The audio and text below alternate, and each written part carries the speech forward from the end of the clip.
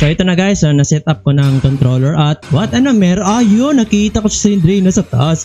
Ayun siya. Nakalipad. What the heck? Ang weird na yun.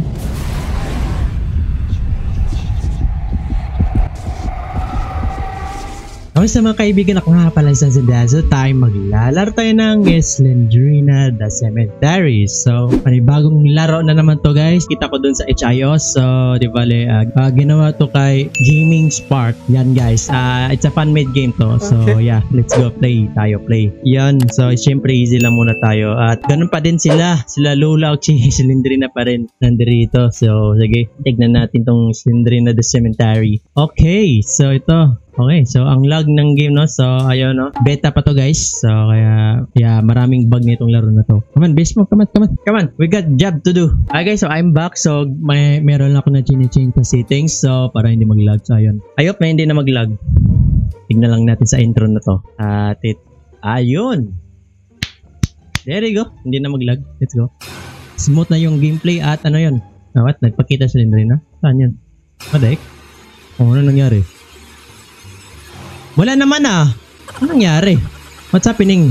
Ba't ako nabawasan ng live? Wala naman ako nakita si Lindrina. What the heck? Tika lang guys. Set up ko muna tong controller. So ito na guys. So na-set up ko ng controller at what? Ano meron? Ayun. Nakita ko si Lindrina sa taas.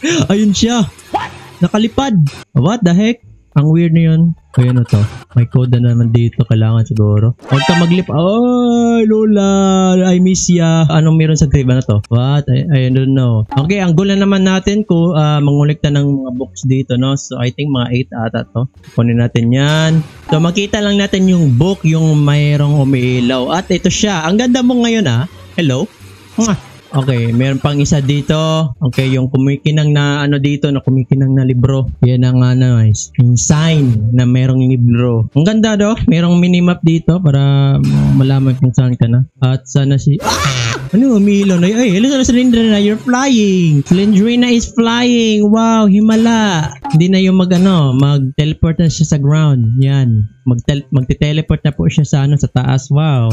Nag-upgrade na Cylindrina mag-explore lang tayo ng explore hanggang makita natin yung mga libro dito. Ganda ng ano dito, yung pagkalagay niya na, na mga structure dito. Ay, nice one gamer spark. Sige lang ano dito. Ito. Ah, hindi ko alam anong password. Kailangan maghanap tayo ng password dito. Ito. Oh, okay, number 2. Dito, baka nasa likod. Wala, wala. Pwede makapasok. Nope, hindi pwede.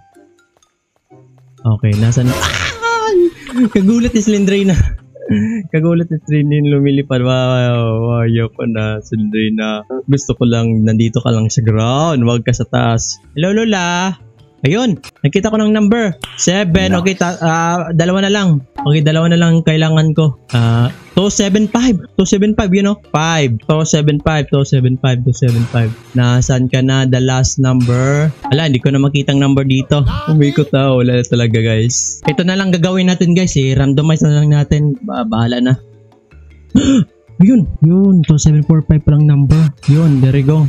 7 na yung ano natin book dito. So, last na lang yung hanapin natin dito. Pwede maglabas? Pwede ba? Pwede ba? Hindi, kailangan pa ng isa eh. Oh, ba't naging 8 na?